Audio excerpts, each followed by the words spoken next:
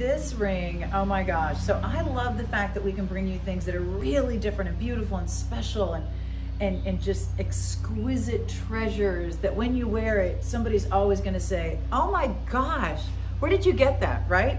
That's this ring. This is five carats of London blue topaz. It has Ethiopian opal, it has ruby, it has white zircon. It looks like, oh my gosh, you're wearing the royal jewels. Aren't they stunning? I love this on any finger, but trust me when I tell you, compliments are guaranteed.